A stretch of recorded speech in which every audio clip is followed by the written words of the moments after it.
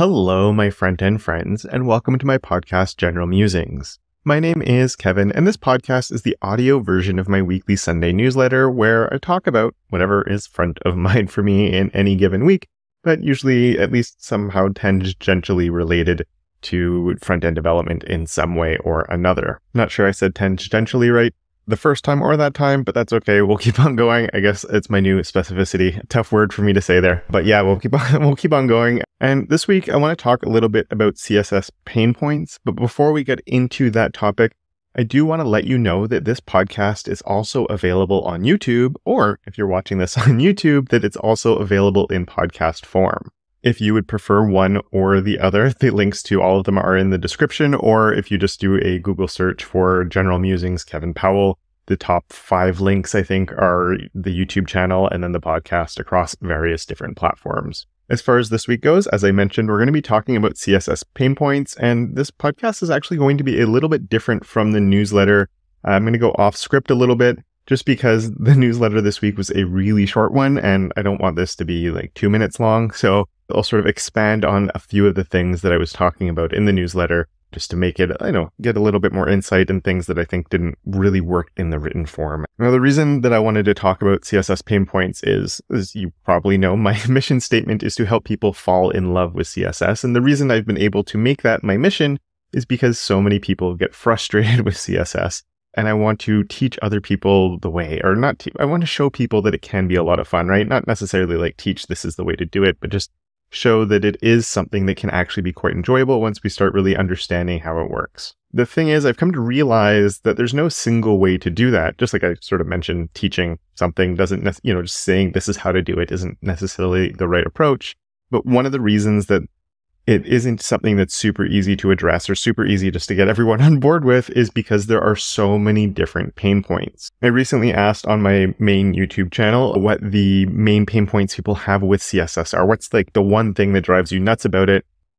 And there was over 300 and something replies. I don't remember exactly what it was. And when I started seeing that there was a lot of different answers, I wanted to sort of track it a little bit. So I actually made a spreadsheet and I started going through and manually like categorizing what everyone's response was.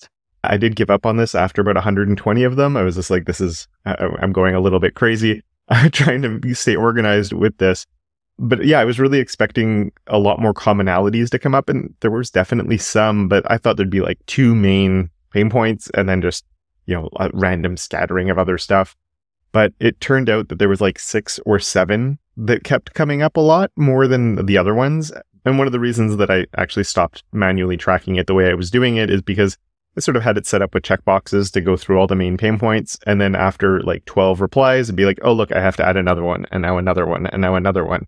But as you might have guessed, there are a few things that sort of stood out, I guess, more than the others, with two of those being layouts and responsiveness, which were definitely like talked about separately. And I, in layout, I include people complaining about either Flexbox or Grid as well, just because those are our layout tools that we have at our disposal. So it made sense to group those. Some other ones that I guess go hand in hand with each other as well were project management, naming things, and just working on large or legacy projects. there was a lot, a surprising amount of people actually that were like working on someone else's code base that's old and, uh, you know, wasn't well done. It was had a, a, lot of replies in there. So I guess uh, a lot of people working on legacy projects are being brought into an existing project and just staring at a giant CSS file wanting to cry. But none of that was really too surprising, I guess. One of the things that did really surprise me from the results that I saw was how many people were complaining about overflows and scroll bars. And especially because the scroll bar stuff was definitely related to overflows. I didn't see anybody mention styling scroll bars. It was more about like controlling scroll bars, so dealing with overflow and stuff, which I didn't realize was such a big pain point for people. And now that I'm saying this out loud, I'm wondering if it has to do with like you know when people are using 100 viewport width on something and then in, inadvertently getting uh, some horizontal scrolling where they weren't expecting it or just at widths 100% that i often rail against and say like you don't need to do that. It's going to work anyway. Um, so yeah i'm curious if that would be the cause to some of those problems but i have a feeling it was a little bit more uh, in depth just based on the way that people were were bringing it up. And another one actually that had a lot more replies than i thought it would was debugging as well uh, I actually think the CSS debugging is pretty good these days compared to at least when I started. but I do know it's very different from other languages, right? We don't have errors in the same way. This, you know, if you make a mistake, the CSS still works. That one line doesn't. But there's a good reason for that, but we're not not going to go into that. But there was a lot of mentions of debugging. And I don't know if it's so much about like the linting tools, if it's more about the dev tools, if it's more about, I don't know. I didn't get in depth replies on all of these, so I am curious to learn more. But definitely debugging was something that surprised me with how many people did mention it. There was a surprising amount of hate also with people just complaining about Tailwind and Bootstrap. I was not expecting that with just general CSS pain points, but it did come up, though there was love definitely for Tailwind that got brought in there as well with a lot of people like, I don't have to worry about it because I use Tailwind. I don't necessarily agree with that because I think any problems you can run into while authoring CSS can come up while authoring CSS with Tailwind, except maybe you run into less naming conflicts and that project organization side of things perhaps is a little bit easier but a lot of the other stuff is still there, right? For example, another thing that came up a lot was stacking contexts. So Tailwind doesn't really solve that. So yeah, stacking context scope as well came up, which CSS is working towards having some form of scope. So maybe people will be happy about that one. And another one that a lot of people did mention was browser support. And as someone who worked through the days of like Internet Explorer 6, I always laugh a little bit when I see people complaining about browser support, though now I think it's more about new features, you know, has this come out and then you can't use it for nine months. Right now we have container queries, but you still can't use it yet just because it doesn't have good enough browser support. So I, I don't know if browser support is so much the inconsistency across browsers or just that once a new feature is there, we have to wait quite a while before we're actually able to use it or not. And there was also one category that always makes me wonder. I'm never quite sure what people mean when they mention it, which is positioning. Because I used to always assume when people said positioning, they meant using the position property with position absolute, fixed, sticky, whatever it is, relative. But then at one point, it sort of dawned on me after having some conversations with people about like asking them more about what their frustrations with positioning were that I realized that it was actually layouts they were having problems with. It was positioning things on the page where they wanted it to go, not necessarily using the positioning properties. And maybe that's a little bit of a downside of CSS having a positioning property or position property and you know causes some potential conflict there or not conflict i don't know what the right word is but just confusion perhaps. So uh, definitely for me was something and then i actually this was like a few years ago but i ran a poll on twitter asking people if they're talking about positioning do they mean on the page or do they mean the position properties? And it was like 70 or 80% of people said just positioning things on the page so they're really talking about what i would consider layout and you know positioning things on the page that totally makes sense. So i get why people are saying that but for me it made me realize like oh i've been thinking the complete wrong thing here of something that people have a lot of trouble with. Luckily it's not the positioning properties because hopefully we're not using especially position absolute is usually the one that causes the most headaches which we generally don't want to be using too much. And once you understand i think the basics of how to, to wrangle that you're not too bad. But yeah overall yeah the uh, positioning did come up again and i tried to sort of tease out when I was reading the person's reply if they meant like positioning layout wise or position with the position properties, because there definitely was a little bit of both in there. Um, but yeah, something that I always have to be careful with uh, when I'm trying to figure out what people are struggling with is making sure we're speaking the same language, right? That's always the fun thing when you're having conversations on technical things or just conversations in general. You two people might be thinking they're talking about the same thing and they're actually talking about completely different things, or vice versa. I've seen situations where people are talking about completely different things, but think they're talking about the same thing. Uh, and that, that's always fun as well. And yeah, I think that does go back to this idea of like, how do I help people get through all these pain points and especially making sure that we're all talking the same language when we're talking about the different struggles people are having? Because if I don't even understand the struggle they're having, it makes it very hard for me to actually solve it or from misunderstanding the struggle that they're having. So all of this to say that I decided to save myself a lot of time and make it easier to share results and get meaningful results. I've decided to run a very short poll or survey to try and get uh, a little bit more information uh, in a way that I can make better use of the data that comes out of it and share the data and hopefully make some useful content around the, the, the data that we get from it. And so if you do want to do it, it's a short four question survey that you can find at kevinpowell.co forward slash pain points. Um, so there'll be a link to that in the description as well, but it's kevinpowell.co forward slash pain points. No hyphens, pain points, just like one, one word, and it will show up. And as I mentioned, it has four questions in it because I didn't want to just ask about what your singular one pain point is because you can only pick one. You have to pick the one that's like the the one that drives you the nuts most or the thing that you struggle with the most. And you might have several things, but I want you to pick one. But I also ask about whether you enjoy writing CSS or you don't, as well as how much experience you have writing CSS, just because I'm also curious there where there might be some correlation. Like, would people that are newer be struggling more with one topic and people that are more experienced be struggling with another topic? Or is it just everybody has the same struggles?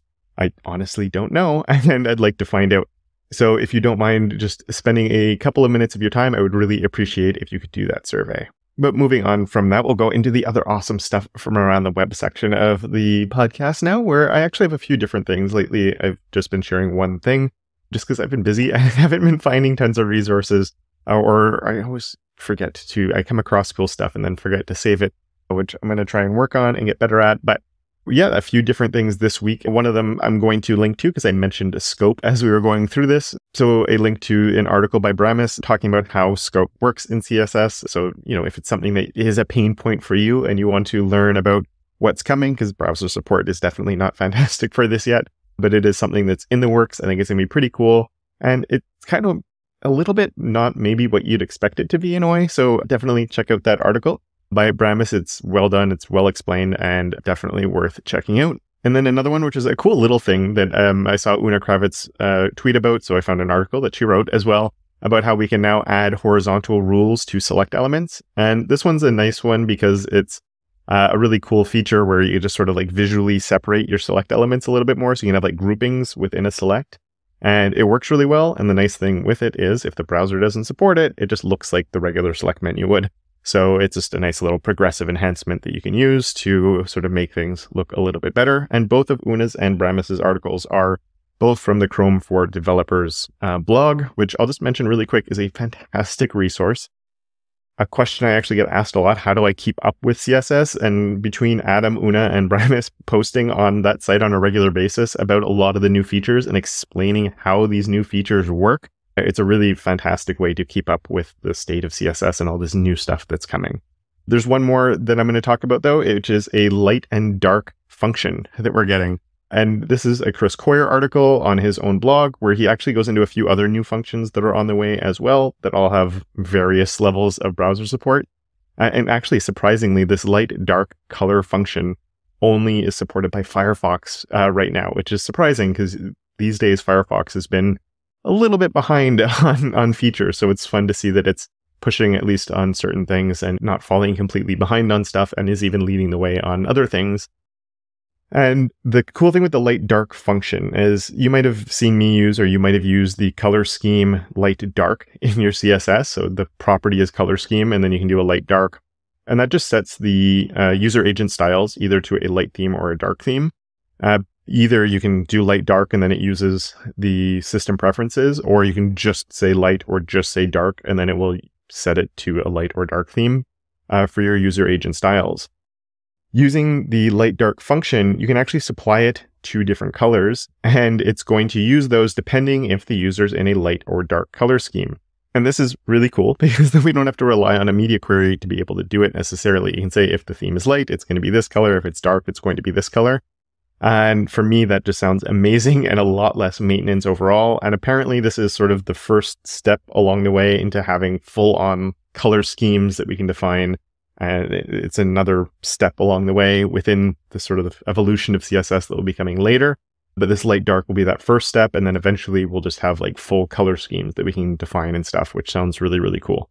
But yeah, a few different things that you can check out on sort of new CSS stuff that's on the way. And continuing, I guess, a little bit with this theme of CSS pain points and, and CSS struggles and all of those types of things, and turning onto the stuff I've been up to this week. My first video this week was addressing one of the most common CSS issues that I see people run into, which is when they have a parent with a min height on it and then a child with a height that's in a percentage and the percentage on the child isn't working and just why it doesn't work and just heights in general as percentages they always they tend to be more problematic than not a lot of the time, just because you need a defined height somewhere for it to really work. But yeah, anyway, we dive into it in that video. Another one that I look at, which is another pain point that people often have, which is my short this week, where I look at seven different ways to center using CSS, and it's a short, so it's all within 60 seconds. Because there's so many very easy ways to center in CSS, I thought that would be a fun little deep dive, or not deep dive, but a fun little dive into centering and just how easy it is now. Because people, I think most people, when they say it now, are joking but I figured it would be a, a, good little thing to look at. And it gives me a video to post every time I see someone on social media saying centering is hard. I can just reply with that video now. And the other one that I put out was more in realm with the links I shared, where it's more about where CSS is going and some new stuff that's coming, where I look at how we can do true parallax with CSS only now, thanks to scroll timeline and the scroll function that we can use with that. Uh, browser support for this is currently only in Chrome, but there is a polyfill for it, so you can get it working in all browsers, or you can just let it be a progressive enhancement because it won't break anything in browsers where it's not supported. But if the browser does support it, then you get the parallax effect, and it gives you tons of control. I look at how you can control the different speeds of all the different elements, so they're going at you know individual rates, all based on scrolling without one line of JavaScript. It's really really cool and a lot of fun. So yeah, that's it for this week. If you do want to do that survey, remember it's at kevinpowell.co forward slash pain points. And if you'd prefer the written version of this podcast, or you'd prefer to watch the YouTube version or listen to the podcast version or whatever it is, links to anything I've mentioned along the way, everything is in the description. Thank you so much for listening. And until next time, don't forget to make your corner of the internet just a little bit more awesome.